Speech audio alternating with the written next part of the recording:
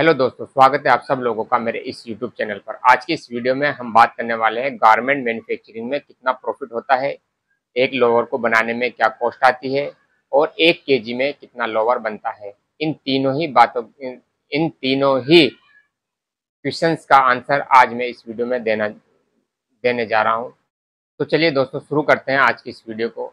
सबसे पहले मैं आपको बता दूँ, इन तीनों ही क्वेश्चन तीनों ही क्वेश्चंस का आंसर देने से मैं बच रहा था। लेकिन लोगों की डिमांड थी। बहुत लोग मेरे से यही पूछते थे कि भाई प्रॉफिट कितना हो जाता है?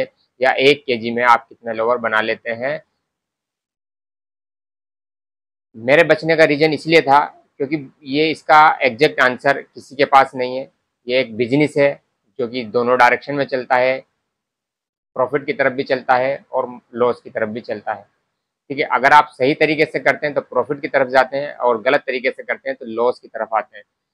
तो ये जो बिज़नेस होता है, ये सांप सीढ़ी की तरह होता है। जब तक आपको सांप नहीं डसता तो आप ऊपर चले जाते हैं और बीच में आपको सांप डसता है तो नीचे आ जाते हैं।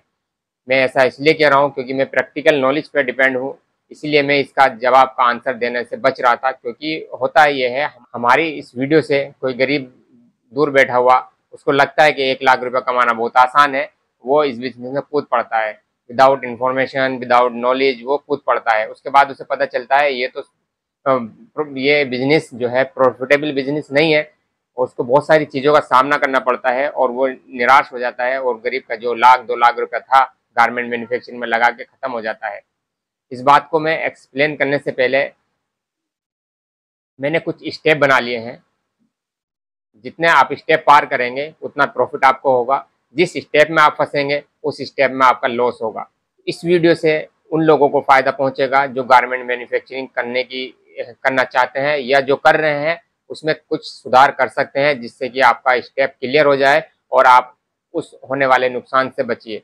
क्योंकि मेरा कहना यही है बिज़नेस है लॉस भी देगा प्रॉफिट भी देगा।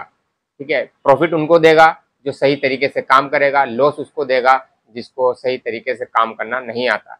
तो चलिए दोस्तों, शुरू करते हैं अपना पहला स्टेप पहले स्टेप में मैं आपको बात करूँगा वेदर इन्फॉर्मेशन वेदर इन्फॉर्मेशन का कपड़े से क्या रिलेशन है, ये सारा का सारा आपको एग्ज़ाम्पल के थ्रू बिल्कुल क्लियरली समझ में आ जाएगा।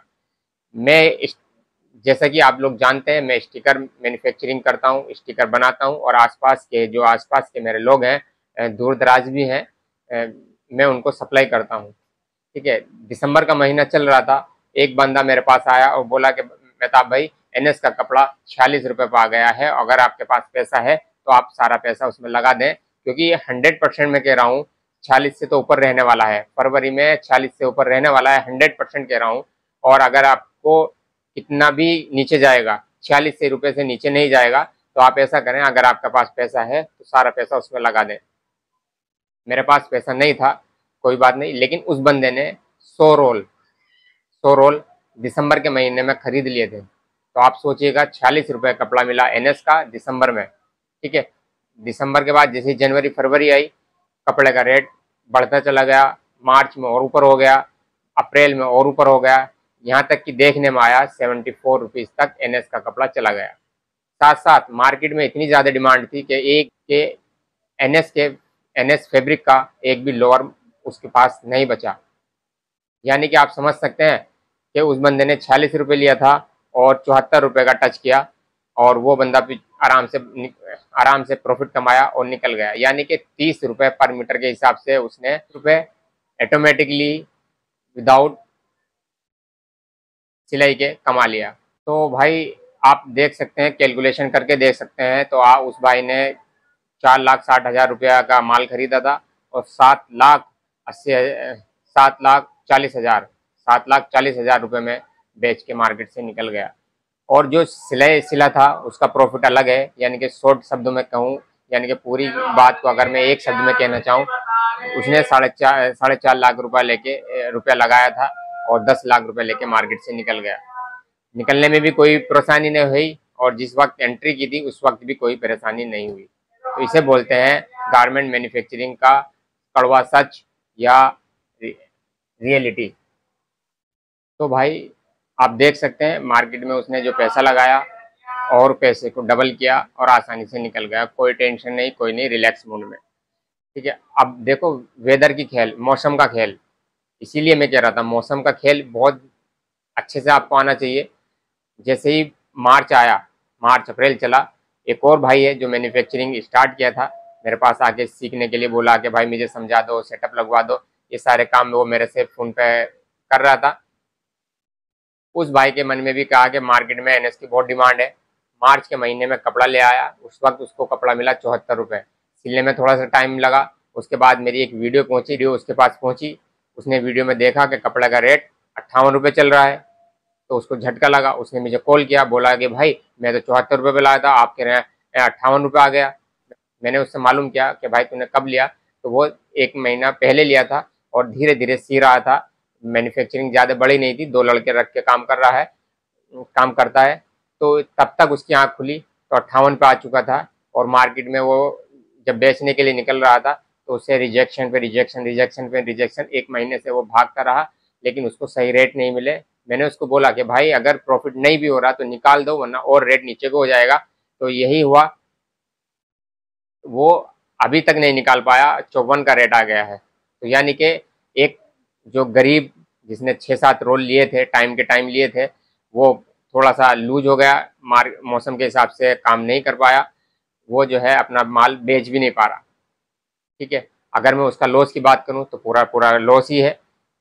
यहाँ तक तो कह सकता हूँ कि जो जितना कपड़ा लगाया था, वो उतना मिल सकता है उसको, लेकिन प्रॉफिट गया। तीन चार महीने मेहनत कर रहा है उसे प्रॉफिट कहीं तक नज़र नहीं आ रहा है। इसलिए मैं कह रहा हूँ, ये खेल जो है सांप सीढ़ी का है। एक तो बिल्कुल ऊपर पहुँच गया अपने पैसे को डबल से भी ज़्यादा करके निकाल के मार्केट से ले गया।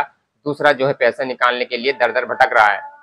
तो ये चीज़ें डिपेंड करेगी मौसम पे। अब जबकि बात को ख़त्म करते हुए सिर्फ़ आपको एक ही राय देना चाहूँगा। इसकी इन्फॉर्मेशन अगर है मार्केट में कपड़ा कौन सा चलता है कौन से कपड़े की कब डिमांड रहने वाली है, अगर इस बात की इन्फॉर्मेशन है आपको तो आप तो आप एक अच्छा अमाउंट बना लेंगे और आप वक्त से पहले एक सेफ़ जोन में चले जाएँगे। सेफ़ जोन मतलब रिलैक्स वाला, कहीं भगदड़ नहीं, कुछ नहीं। आपने माल बनाया और आराम के साथ उसको निकाल दिया। तो पहला स्टेप आपको क्लियर हो चुका है। इसी तरीके से मैंने और बहुत सारे स्टेप बनाए हैं। उनका मैं डिस्कस दूसरी वीडियो में करूँगा। लेकिन थोड़ी सी समरी दे देता हूँ, जिससे आप लोगों का इंटरेस्ट बना रहे कि अगले स्टेप में हमें क्या करना है, उसके बाद क्या करना है। दूसरे स्टेप में आपको सीखना पड़ेगा ट्रस्टेड सप्लायर कैसे ढूंढें? क्योंकि मार्केट में गलत प्रोडक्ट देने वाले, गलत कपड़ा देने वाले भरे पड़े हैं। तीसरे लेवल तीसरे स्टेप में मैं आपको बताऊँगा, आपको टैलेंट और नॉलेज होनी चाहिए कि आप कौन सा डिज़ाइन काटें। ठीक है? चौथे स्टेप में मैं आपको बताऊँगा, कारीगर या लेबर को हैंडल कैसे करें? क्योंकि ये भी आप लोगों से एक दो दो रुपया फालतू ले लेते हैं और काफ़ी ज़्यादा बड़ा अमाउंट हो जाता है। उससे अगले स्टेप में मैं आपको बताऊँगा अपना ब्रांड कैसे बनाएँ और दूसरों का ब्रांड बनाने के क्या क्या नुकसान है, क्योंकि आप दूसरों का ब्रांड बना के काम करते हैं और आपको लॉस होता है।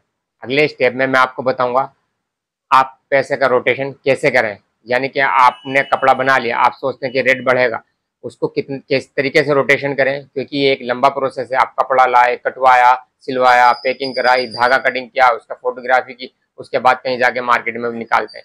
तो वो बहुत एक लंबा प्रोसेस हो जाता है लंबा प्रोसेस हो जाता है।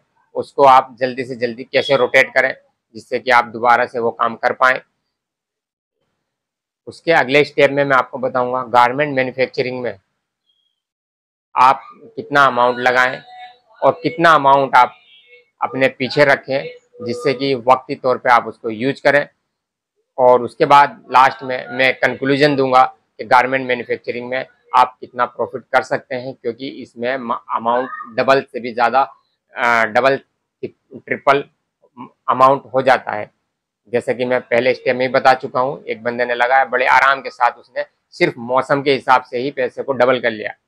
तो बाकी स्टेप में तो आप सोचेगा क्या हो सकता है। तो इसलिए ऐसी इन्फॉर्मेशन वीडियो के लिए जो भी भाई गारमेंट मैन्युफैक्चरिंग कर रहा है, उन तक ये वीडियो पहुँचाइए।